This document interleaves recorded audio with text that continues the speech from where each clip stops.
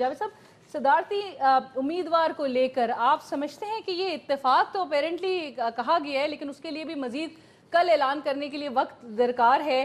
آج Pakistan Peoples party نے بھی رات تک کی مہلت مانگی ہے، لیکن ان کی مجبوریاں بھی کافی ہیں۔ کیا نتیجہ نکلتا ہوا نظر آ رہا ہے؟ میرا خیال ہے ان کے لیے آسان نہیں ہوگا ایک متفقہ امیدوار لانے کے لیے۔ اعتزاز آسن صاحب کا نام ہے، لیکن پی ایم ایل این نے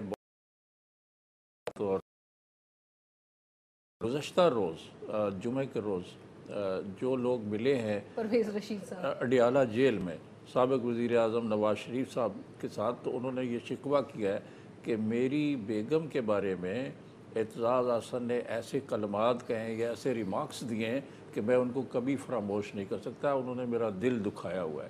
تو ایک طرح سے پرسنلی وہ ہرٹ ہوئے ہیں جو کچھ ریمارکس اعتزاز حسن صاحب دیتے رہے شریف فیملی کے حوالے سے تو ان کے ارد گرد جتنے ان کے حامی ہیں وہ بھی اعتزاز حسن صاحب کے اوپر جو ہے کافی تحفظات رکھتے ہیں۔ اور پرویز رشید صاحب نے پھر گفتگو کرتے ہوئے کہہ دیا کہ معافی مانگ لے تو پھر ہم حمایت کر دیں اعتزاز حسن صاحب کا نام بہت کنٹروورشیل ہے کنٹروورشیل ہے پی ایم ایل این کے کیمپ کے اندر۔ اور باقی لوگ شاید جو باقی اتاتی ہیں اس پر متفق ہو جائیں لیکن پی ایم ایل این کی بڑی سخت ریزرویشنز ہیں۔ اور مجھے نہیں لگتا کہ کوئی یہ متفقہ امیدوار لا سکیں گے۔ اگر یہ لا سکیں تو ان کی بڑی کامیابی ہوگی۔ ان کے مقابلے میں پی ٹی آئی کے کیمپ میں کافی حد تک ایک اتفاق رائے نظر آتا ہے اور ان کا تو انہوں نے تو پہلے ہی الوی صاحب کو کر دیا عارف الوی صاحب جی۔ کو۔ اور وہ تو لابنگ بھی کر رہے ہیں اور وہ کہتے ہیں کہ ہم ان سے آگے ہیں اپوزیشن سے کہ ہم نے متفقہ طور پر امیدوار لانچ کر دیا ہے۔ تو ان کے لیے پرابلمز ہیں۔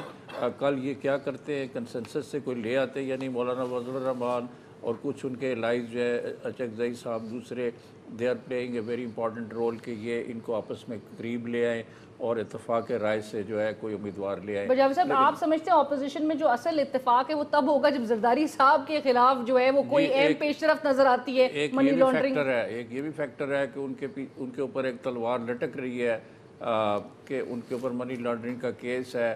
کبھی ایف آئی اے نے ان کو پھر پیر کو